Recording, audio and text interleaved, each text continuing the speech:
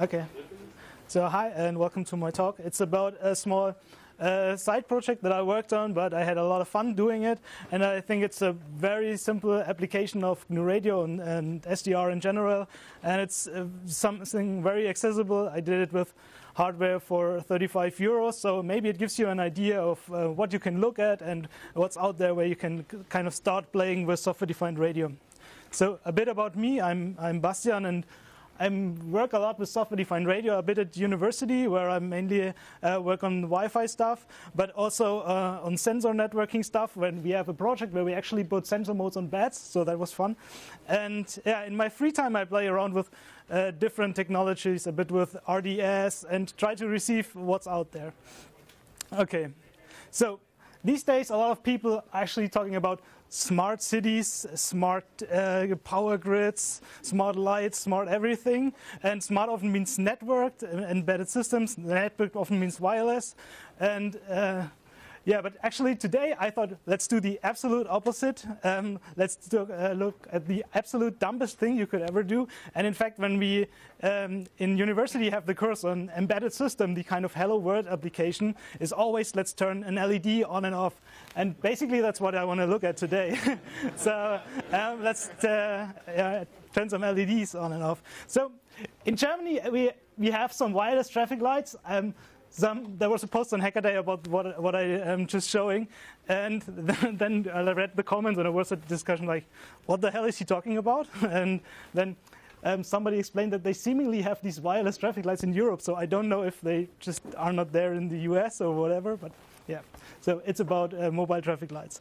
And I just wanted to give a very brief shout out uh, to my friends from Internetwache because they just by chance um, found the same traffic lights in the GSM network. So they're usually scanning around in the um, internet and found that these wireless traffic lights actually have a, a GSM uplink. So for monitoring and configuration and stuff like that, they are actually online, so they were able to log in and do some stuff. So this was covered in the news uh, uh, last year. And just very recently, um, Mike Osman um, and um, Dominic Spill, they triggered some traffic lights with infrared. So today, we want to look at this big antenna, and as you might guess, that doesn't look like GSM. So for the GSM uplink, they maybe didn't put this on the on the traffic light. So yeah, I was I was looking into this, and one friend of mine said whenever he's um, close to these traffic lights, his DAB, his digital audio radio, just stops working. So um, I thought, okay, um, yeah, let, us look around in, in that area, and actually that's a that's a band which is kind of to uh, regional allocated. So um, it's kind of land mobile radio. I'm not sure how the uh, the translation is in German. It's Betriebsfunk, and usually you have some FM modulations there. So I use the um, RTL SDR RTL SDR dongle that we've already seen today a lot, and I think all guys know it, and just started GQRX, and indeed there was a very strong signal when I was close to the traffic light. Okay, and usually on these bands they are FM modulated, and just tried it, and there uh, were some yeah, these signals look good which came out of there. And my my normal workflow when when doing these things is there's now really some really great tooling. So we have GQRX, where you have seen where I could easily see the signal and filter the signal, and then I I just did some um, recording to a WAV file and had and loaded the WAV file in, in Spectrum. I will in, um, in a minute show you the tool. And Spectrum is really nice if you just want to see get the signal parameters, see how it is modulated, the um, bits per second and stuff like that. And then um, after I know the signal parameters, I just do some um, simple decoding in GNU Radio. So let's first look at in Spectrum. So th this is how the um, WAV file loaded in Spectrum looks like. Um, if there's no transmission with FM, then we have just some noise here. And then um, the, here you can see the traffic lights. So there are always slots of one second. And in between we have six transmissions. So um, the, the, fact that they look a bit different um, um, basically tells you that there seems to be a different SNR. So these are actually one traffic light and one is the other traffic light. So they are not sending this just not one sending and the other is only receiving, but they are sending back and forth. So to assert that the other traffic light is still there. And they are sending different types of frames. So basically we have some ones that are slightly longer, which we will later see is the kind of master, which um, tells the other one what to show. And the other one is basically just reporting back. Or at some points, it's also telling the master that there is, um, for example, a car. Some, some mobile traffic lights that actually have cameras to detect if there's a car ahead, so they can um, maybe preempt the signal and give you priority and just not follow always a strict schedule.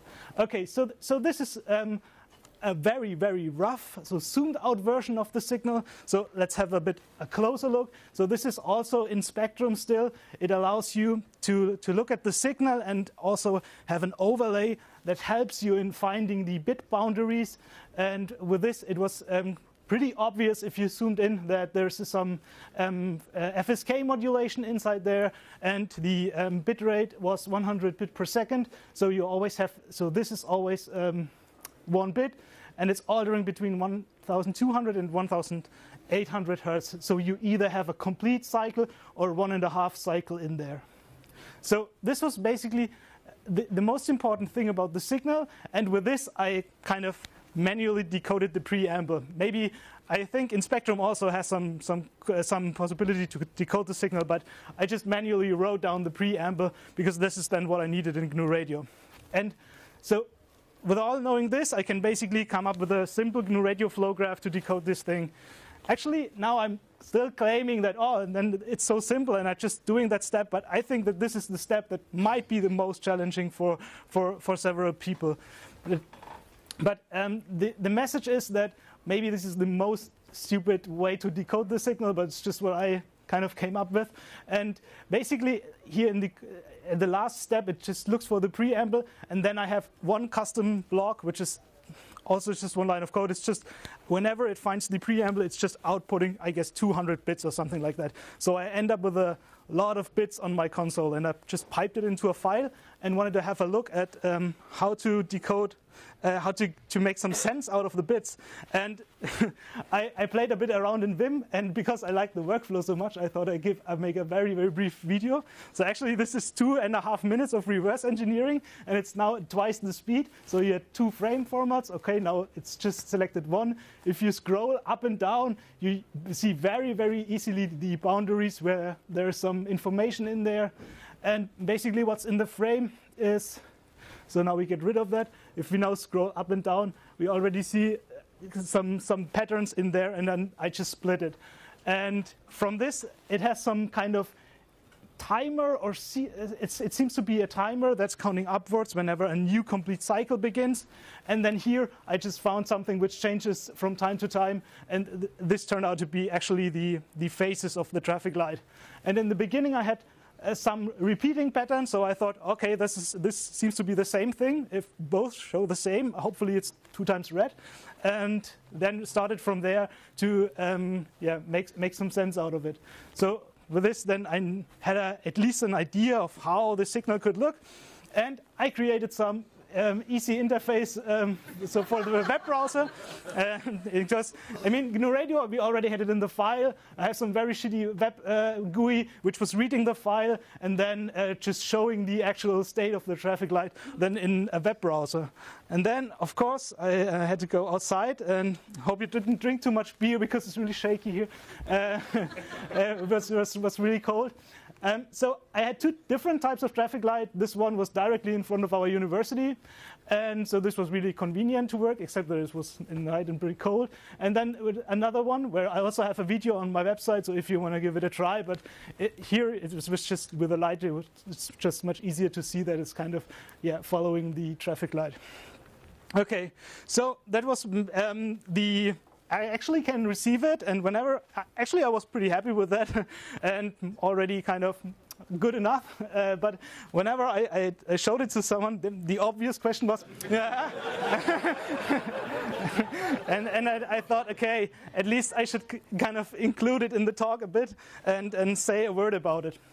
Um, okay, I thought about, okay, how can I transmit? I have one of those, but I'm very sure that it doesn't allow me to transmit out of the uh, amateur radio bands. So maybe it can receive there, but trans uh, transmitting is uh, limited. I looked on eBay. You can, of course, buy lots of um, the, um, these uh, land mobile radios, or however they are actually called. But they are a bit expensive, or a bit over 100 euros usually. And then I remember that at some point I bought this incredibly cheap, shitty device from China and, and never, never actually used it. And it turns out with this 25 euro, it's kind of very nice because it's cheap and it's portable. And even in the uh, link on Amazon, it was 172 uh, megahertz. uh, yeah, if you play around with it, that uh, um, yeah, turns out that that can actually work, or uh, at least I wanted to give it a try. Good. What, what can you do? There is the, the obvious way, like going beside the traffic light and just screaming in the uh, in the in the radio, and then you, so you're basically jamming, disrupting the communication. But it's pretty boring because it's always possible. But when I had that um, on my blog, there was immediately somebody who uh, who wrote me that he tried that, obviously, or for some, whatever reason he knew um, that when you just jam it, it's just flashing orange, which makes a lot of sense because this is the kind of fallback solution. Um, what else can you do? So the the actual question is like, could you spoof transmission means like you could generate the signals yourself so that the traffic light would accept it so that you can actually trigger the traffic light. This is what, um, yeah, most people seem to be interested in. But um, as I said, most of them have cameras and you should not mess around. And also with the GSM uplink, they will, um, they know probably if you're doing some um, shitty stuff with it. So I thought, but but still, I, I wanted to see if if there is at least some I can come up with a proof of concept that maybe you could uh, further investigate it. So okay, I did another GUI, but this time obviously I wanted to trigger it.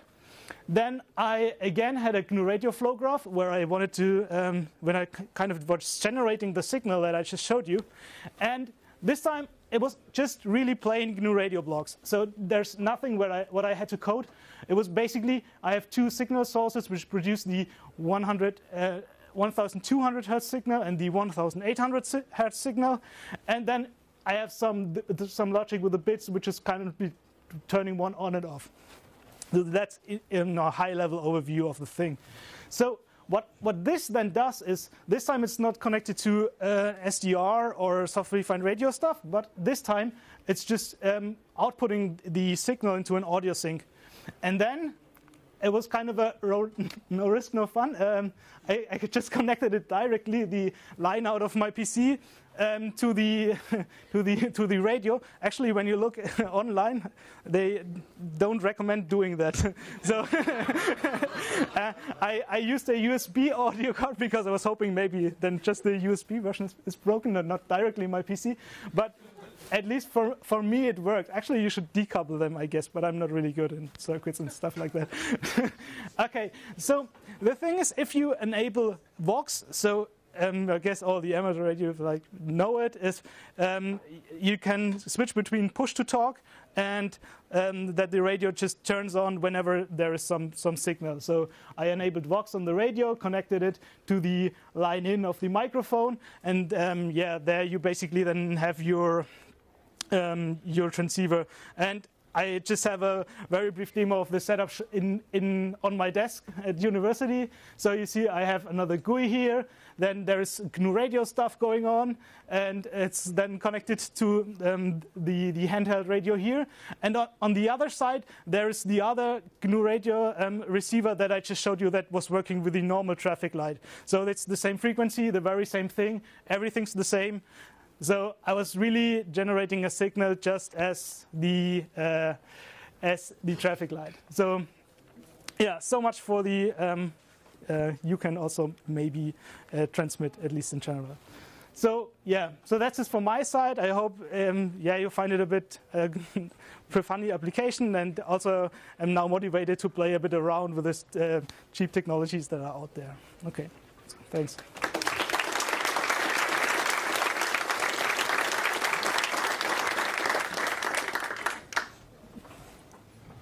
Is it is it half? Is it half? Sorry. yeah, it's half. Yeah, you, oh, you oh, oh. oh I'm sorry. Actually, I thought it's way too much content, so now I was rushing around uh, through the slides. I'm sorry. yeah. So if you have any questions, Do you know anyone who tried? no. As an time a question from the internet. Did you try? Asking. Ask if he knows that anyone tried. Gefährlicher Eingriff in den Straßenverkehr. yeah. so act- so us- usually the, uh, Send you an email. exactly. So that's usually what happens. That if somebody does it, then hey, done that five years ago or something like that. But actually, seriously, no. So nobody wrote me. So I, I wouldn't know if, if anybody. I I also tried to different. Um, yeah, I got emails from from other guys who were looking into that, but none of them were actually transmitting something. Yeah. What about slide 22? You said that the light is just outside of the university What? So you're transmitting, so yeah. This is the um, anechoic chamber of our university. what? No, that's. And, another frequency. mm, There was another, another traffic light before me. it- all this has metalized windows where nothing gets out. It's a Faraday cage. exactly. Yeah.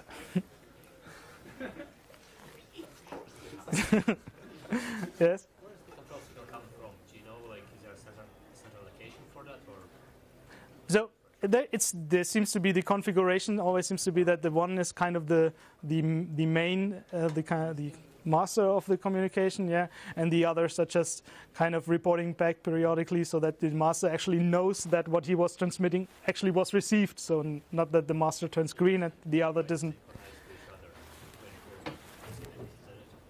Yeah, and also on this frequency, you don't have to space them that close because you're actually on 170 megahertz, you get some range. Yeah, yeah. So you mentioned that new radio is usually the tricky part to get the reverse engineering going.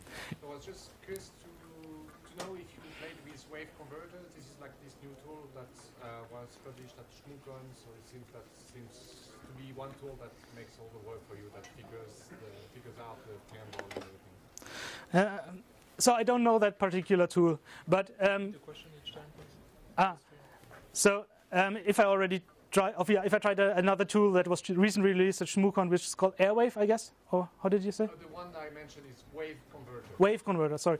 Um, yeah, I, I don't know that particular tool, but uh, today in the morning we had a panel where we said about like it's sometimes really hard to get started with GNU Radio, and then when I had a look, another look at my slides, then I knew that.